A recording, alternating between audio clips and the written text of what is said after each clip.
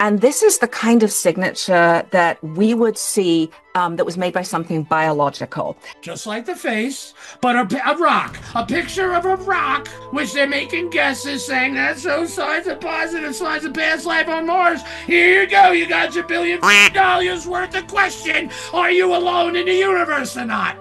Do you feel like you got your money's worth, everyone? In this case, it's kind of the equivalent of seeing like leftover fossils, you know, leftovers from a meal. Remember when I said that chick's looking at me and she's so foolish?